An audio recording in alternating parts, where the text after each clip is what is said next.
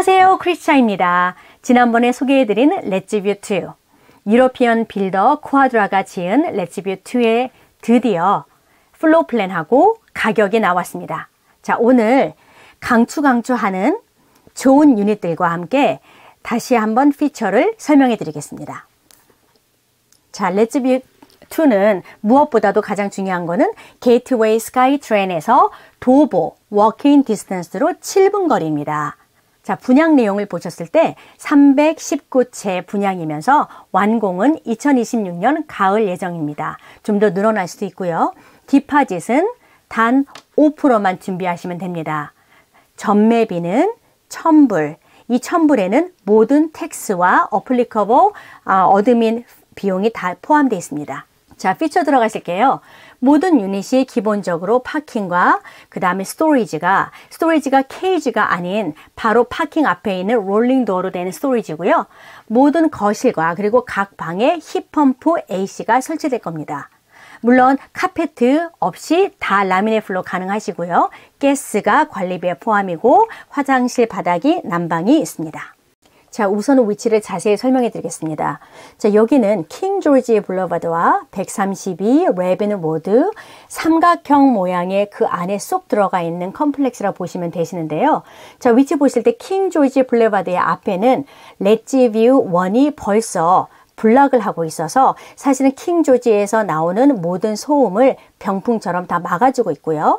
그러면 여기 지금 Ledgeview 2는 총 3개의 건물이 132 Street와 Ravine Road 사이에 있는데 여기서 Ravine Road를 보셨을 때 여기는 dead end입니다. 딱 막힌 골목이라서 거기는 차가 다닐 수가 없고요. 되게 조용한 조용한 위치고 Ravine Road 바로 앞에 있는 거는 3층짜리 타운하우스고 그 바로 뒤에가 green space이기 때문에 정말 조용한 골목이라 보시면 됩니다. 자, 콘도를 고르실 때 어떤 유닛을 고르시는 게 좋으신지 그런 노하우가 필요하신 분들을 위해서 어, 제가 지금부터 어, floor plan을 봤을 때 어떤 유닛이 좋은지 고르는 팁을 알려드리겠습니다. 자, 시작할까요? 자, 우선 첫 번째 유닛을 한번 볼까요?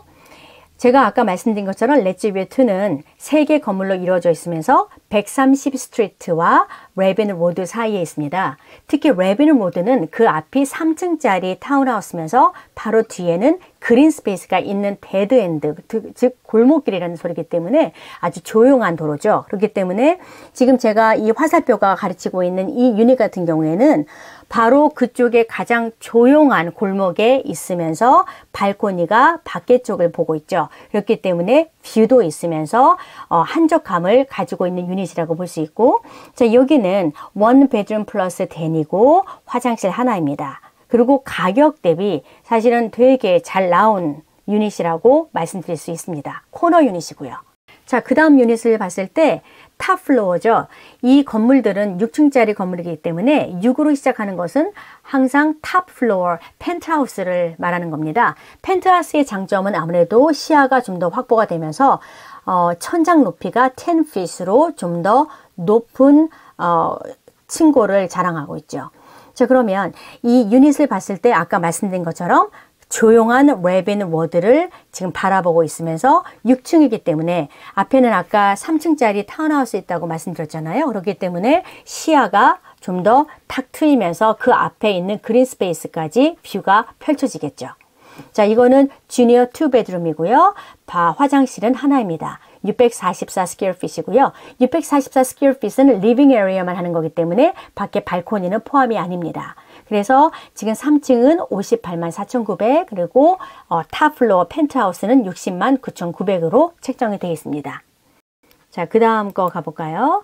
자, 그 다음 거 가보시면 지금 어, B1 건물과 B2 건물을 화살표가 가리고 있는데요. 이 세 유닛을 봤을 때 B2에 있는 건물, B2에 있는 그 유닛 두 개와 B1은 다 코트야드를 바라보고 있다고 보시면 됩니다. 그럼 방향을 봤을 때 지금 B2에 있는 건물 두 개는 어, 방향이 남향을 바라보고 있는 방향이 되겠고요.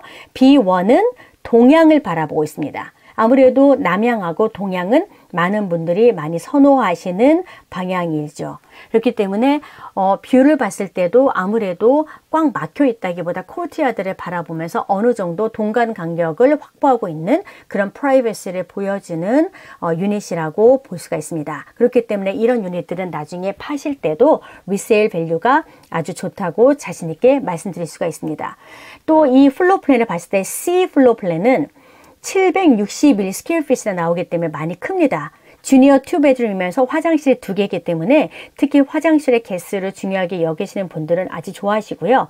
여기는 junior two bedroom인데 junior이긴 하지만 방 하나가 당연히 closet도 있고 어, 창문이 없어서 그런가 하시는 분을 위해서 한 가지 말씀드리자면 여기 Quadra에서 짓는 것들은 항상 air ventilation이 있기 때문에 항상 공기 어, 환, 환기가 잘 됩니다. 그렇기 때문에 다른 데하고는 조금 더 어, 상황이 달라진다고 보시면 될 것 같습니다.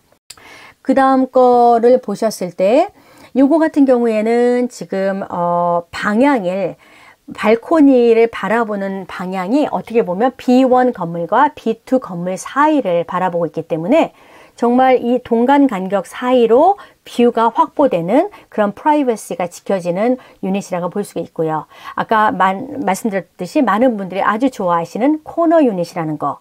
자, 614호는 junior two bedroom에 화장실 두개 740 square feet으로서 어, 펜트하우스입니다. 펜트하우스이기 때문에 top floor고요. 64만 4,900불입니다. 자, 요 유닛 같은 경우에는 어, 아까 말씀드린 것처럼 조용한 Ravine Road를 바라보고 있기 때문에 정말 조용하고요. 이 유닛의 특징은 뭐냐면 사이즈도 907 square feet으로 크기도 하지만 발코니가 각 방마다 하나씩 다 있습니다. 그래서 어떻게 보면 방이 master bedroom하고 그 다음에 bedroom은 나눠 있긴 하지만 사실은 두 개 다 어떻게 보면 다 master bedroom처럼 느낄 수가 있어요. 왜냐하면 화장실이 다 포함이 되어 있는 다 통해져 있는 master ensuite로 되어 있기 때문에 어떻게 보면 각각의 프라이버시가 정말 중요하신 분들한테는 각 두 개 방을 어, 서로 싸우지 마시고 안방을 하나하나 다 차지하고 쓰실 수 있는 그런 장점이 있을 수 있겠습니다. 그리고 어떻게 보면 많은 분들이 많이 선호하시는 정사각형에 아주 잘 앉아있는 의젓이 앉아있는 모양이기 때문에 많은 분들이 좋아하시고 특히 발코니 부분이 Ravine Road를 바라보고 있기 때문에 아주 조용한 그런 어, 주거용으로는 참 좋은 이상적인 레이아웃을 보여주고 있는 유닛이라고 볼 수가 있습니다.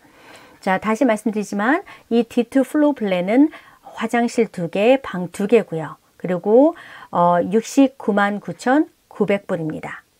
자, 지금까지 말씀드린 것처럼 어, 떻게 보면은 유닛을 고를 때 이렇게 고르시면 나중에 resale value가 아주 좋은 좋은 유닛을 선택하는 팁이라고 제가 말씀드렸는데요. 도움이 되셨으면 좋겠고요.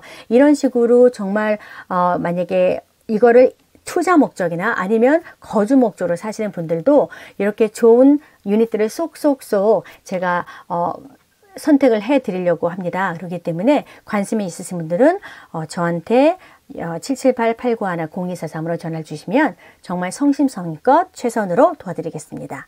오늘도 함께 해주셔서 너무 감사드리고요. 정말 좋은 선택으로 어, 투자나 아니면 주거용으로 사시는데 후회함이 없으신 그런 좋은 선택을 하시길 바라겠습니다. 오늘도 행복한 하루 되세요. 안녕히 계세요.